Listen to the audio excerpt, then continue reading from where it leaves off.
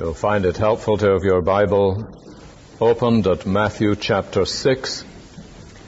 Last Sunday morning we were introduced to our study of the Lord's Prayer, which will take us, I expect, over a considerable number of Sundays up until Christmas or around then.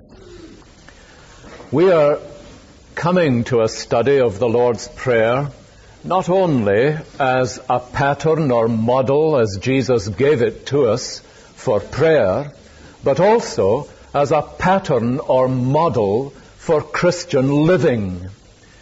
If you think of the two places in the Gospels where the New Testament tells us what the Lord's Prayer is, you will realize the significance of this.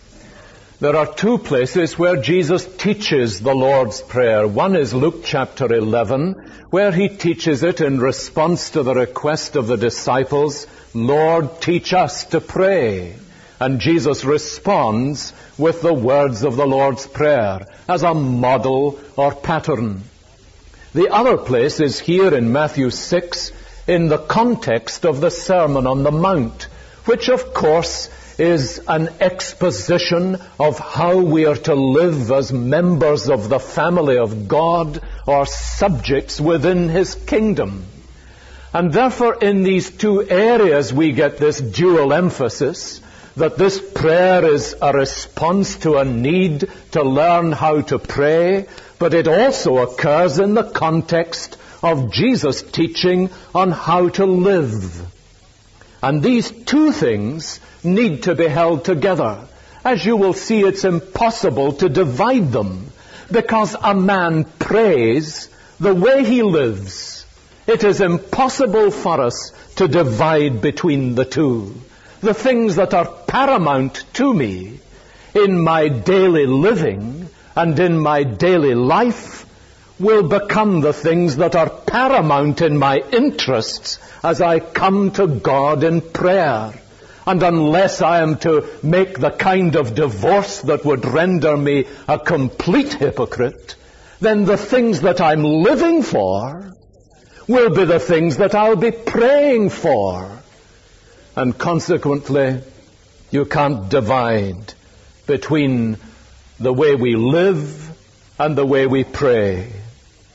For example, do you notice the preoccupations of the Lord's Prayer here in Matthew 6? It's so different in so many ways most of us would find from our native preoccupations in our daily living, which of course would be with ourselves and our own needs and our own interests. But notice how Jesus teaches us to pray. The primary interest of your praying, he says, has to be in God. We begin to pray with things like His fatherly love, His heavenly glory, His holy name, His cause and kingdom, His will and His pleasure. These are the things that preoccupy us in prayer, says Jesus. But of course, you can't pray that way unless you live that way. If this is how I live, then this is how I will pray. But if I am not taken up with God's fatherly glory, with His holy name, with His kingdom and purpose, with His will and pleasure, then it would be the utmost hypocrisy for me to pray the words of the Lord's Prayer. And you will realize that it becomes therefore a very searching thing really to pray the Lord's Prayer and a really transforming thing if we begin to pray it from our hearts. Now the point of that emphasis is that the Lord's Prayer is not just a form of words to recite, although I think that it's a valuable thing for us to use the words of the Lord's Prayer in prayer, but it is a pattern or guideline as to how we are to approach God and how we are to speak with Him. Now you will notice the preliminary things that Jesus teaches us about our approach to God, which we were helped to look at in more detail last Sunday. we are to come to him in a certain way.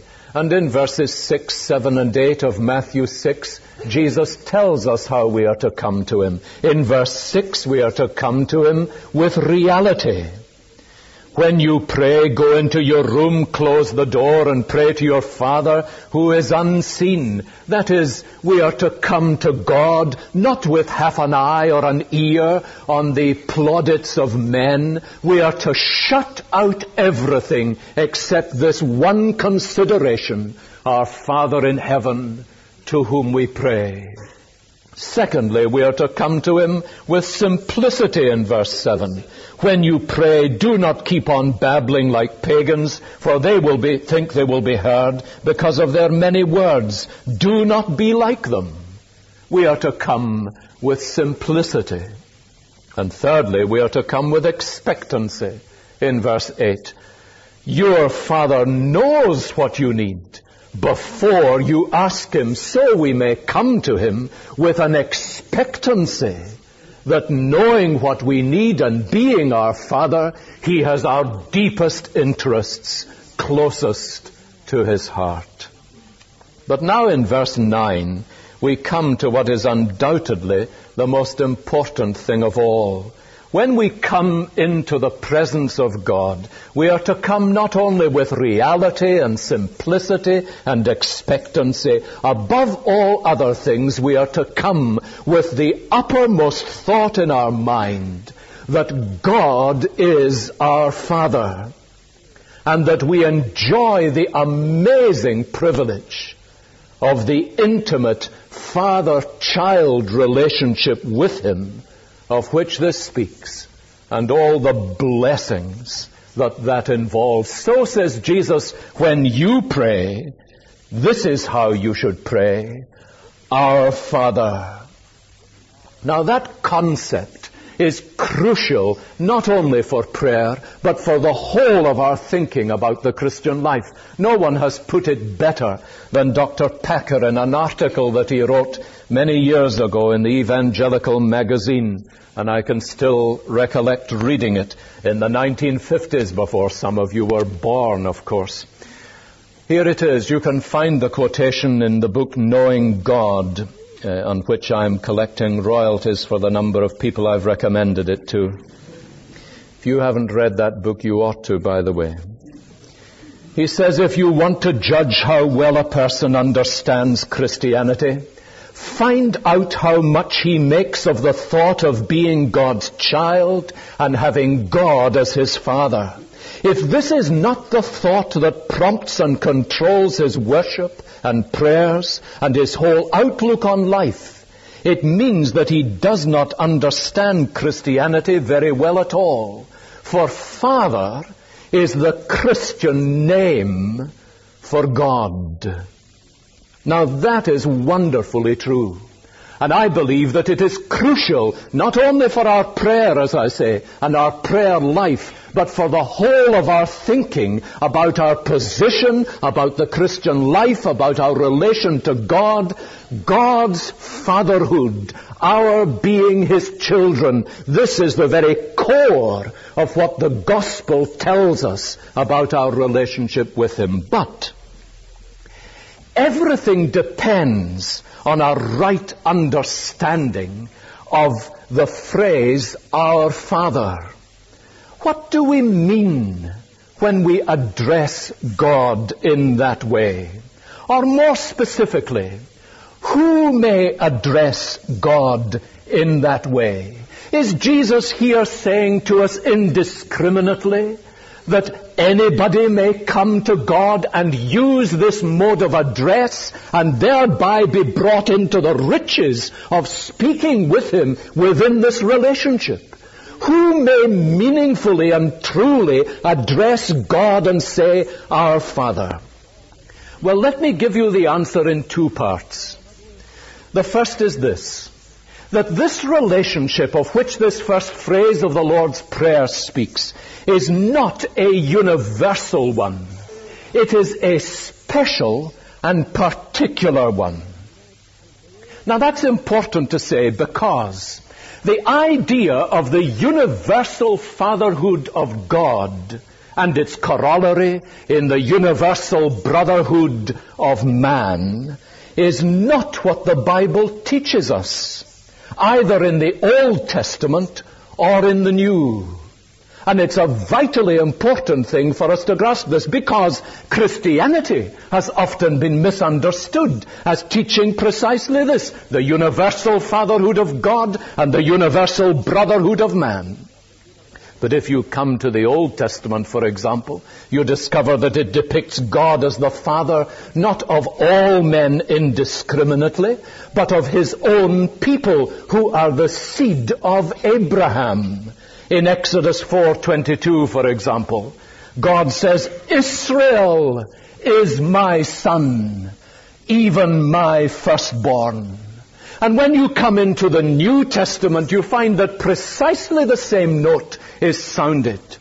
That God is the Father not of all men, but of those who put their faith in Christ as their sin bearer and thereby become the seed of Abraham.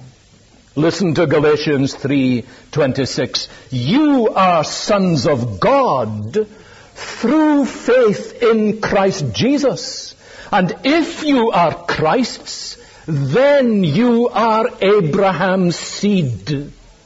So what is a son of God in scripture? Well, sonship is not a universal position of all men, but a unique privilege received through faith in Jesus Christ.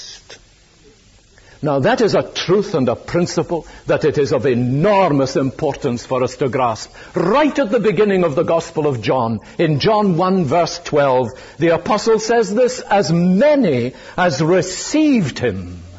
Notice, as many as received him, to them gave he the power to become the sons of God, even to those who believe in his name.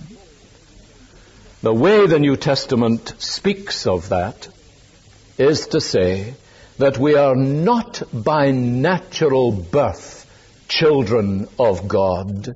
We are rather adopted into His family by an act of God's grace and mercy. And we become children of God, not because we are simply born as His creatures, but when we are taken by the grace of God and adopted into all the privileges and into the status of being God's children by His grace. It is as though a king were to come into the squalor of some place where abandoned urchins were to be found and he chooses some of them and takes them out of the place where they are and brings them into his palace and dresses them with the robes of their position as his sons and daughters and raises them to the status of sons and daughters of the king. Now, my dear friends, that's what the biblical teaching on adoption teaches us. It tells us that God, the King of glory, has come down in Jesus Christ and has chosen out of all the desperate condition of sinners a people whom he raises to the status of his own children and gives them the privileges of belonging to his family. So Paul says, God sent forth his Son to redeem those who were under the law, that we might receive the adoption of sons. That's why God sent forth Jesus. Because we were not his sons and daughters, and he wanted to adopt us into his family and give us the status and privileges of being his children and when he sent forth his Son to redeem, it was that we might receive the adoption of sons. That's Galatians 4, verse 4. Now do you see then the amazing sense in which God has done something in the gospel for us? This is how we come to God and say, Father, It is the spirit of adoption within us who cries through us, Abba, Father. And we speak to him as Father because whatever our origin, whatever our background, he has taken us and raised us into the position where we are brothers of the Lord Jesus and children of the same Father. And we cry to him, therefore, Father, as we come to him. But there is another answer to that question. I said there were two parts to it. The first part is that we are not universally children of God. We are particularly and uniquely and specially His children by the process of adoption. But the other answer is that this relationship is not natural. It is supernatural. By that I mean it is not a relationship that is created by my physical birth. It is a relationship that is created by my spiritual birth. I become a child of God not by being born, but by being born again. And that is what Jesus urged, you remember, in John 3 on Nicodemus.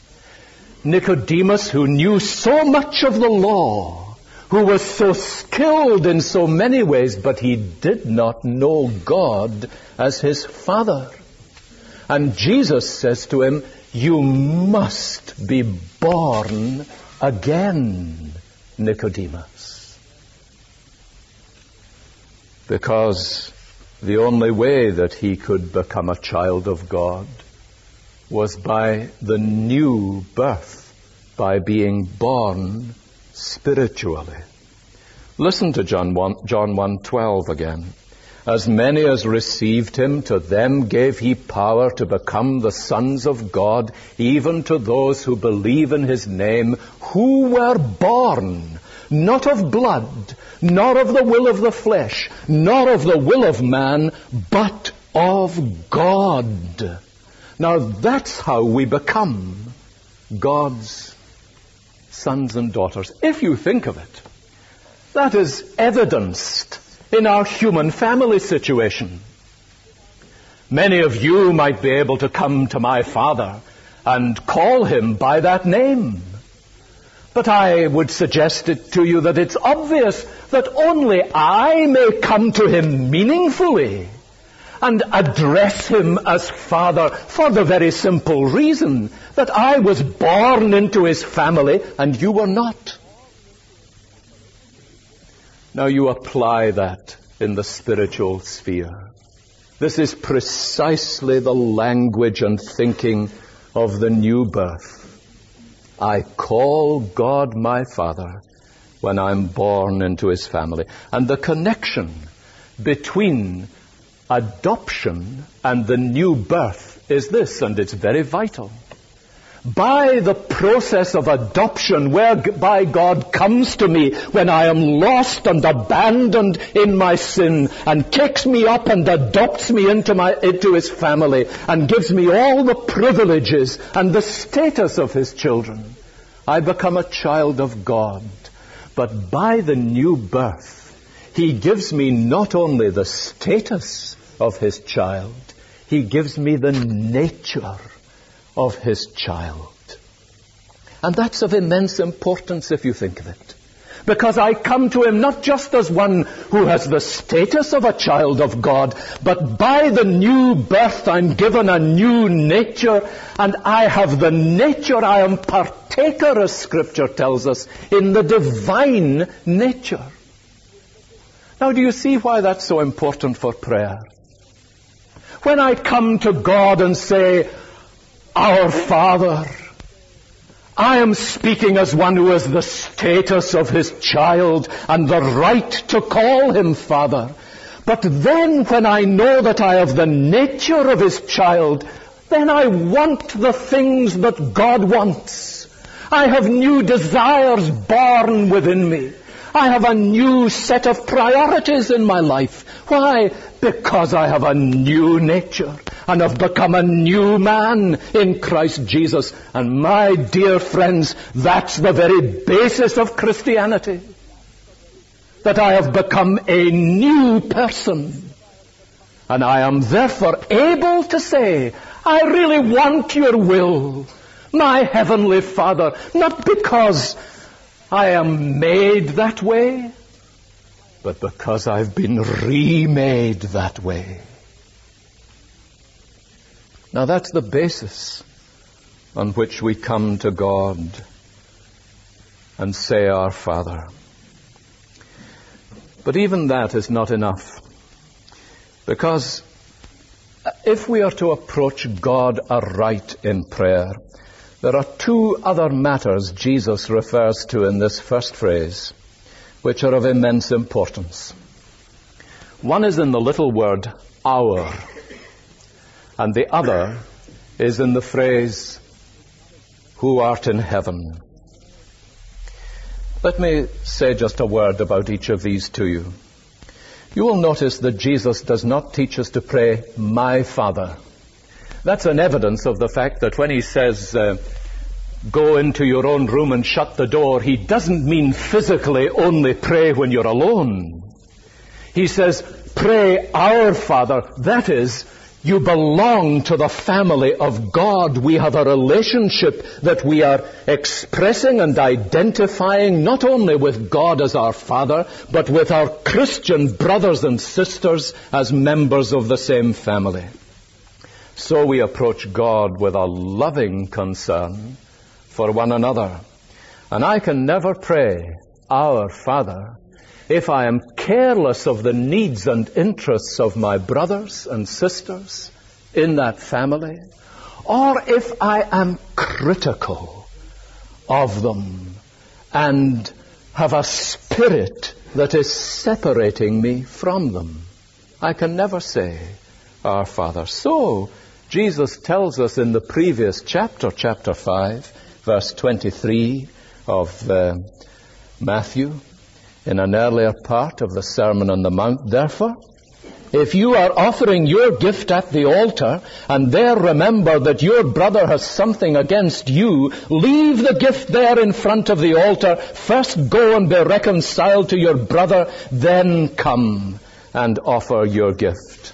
The point is, you see, that nothing kills true prayer or acts as a barrier into the presence of God more effectively than a spirit of resentment or bitterness that divides me from my brother.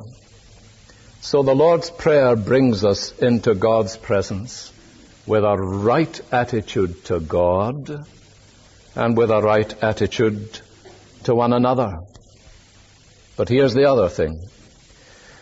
Our approach to God is not only to God in the sense of the one who has fatherly relationship with us through Jesus Christ, but in the particular sense that Jesus expands in the second half of the phrase, our, fa- our Father in heaven, or in the form that we usually use, our Father who art in heaven. Now that of course does not mean that God is located in the sky.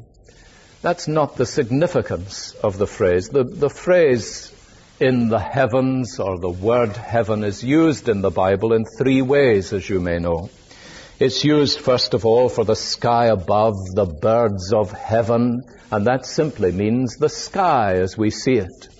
It's used in the second sp- case for the whole realm of space, where the heavens are said to declare the glory of God.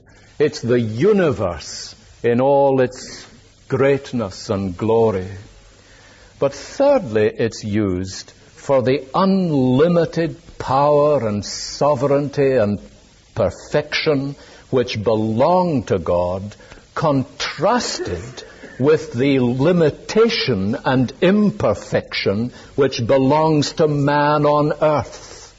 So Ecclesiastes says, God is in heaven, you are on earth, let your words be few. And he is contrasting God in his heavenly glory and unlimited majesty and power with man with all his limitations. Now you will see that that applies in a special sense to our concept of fatherhood. And Jesus, in the next chapter of Matthew's Gospel, at the end of the Sermon on the Mount, compares and contrasts earthly fatherhood with God's heavenly fatherhood. Matthew 7 9, for example, when he is teaching us about asking, he says, Which of you, if his son asks for bread, will give him a stone? Or if he asks a fish, will he give him a snake?